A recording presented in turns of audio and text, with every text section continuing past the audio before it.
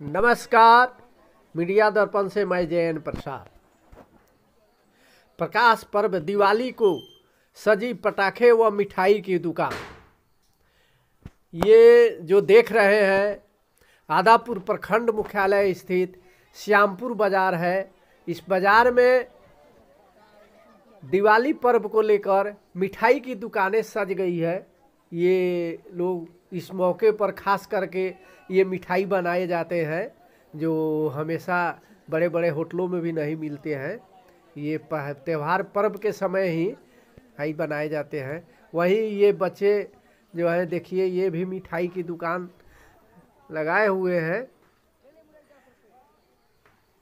वहीं पर ये रस्सी की दुकानें हैं, जहाँ पर लटकन वगैरह जो पारंपरिक मवेशियों का जो श्रृंगार का है साधन वो लटकन भी यहाँ पर सजाया गया है। लटकन की दुकानें हैं वहीं पर।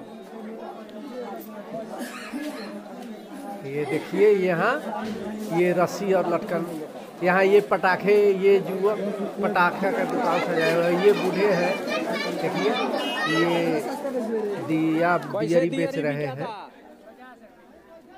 पचास रुपए का, कितना? पचास रुपए पचास रुपए सौ एक और।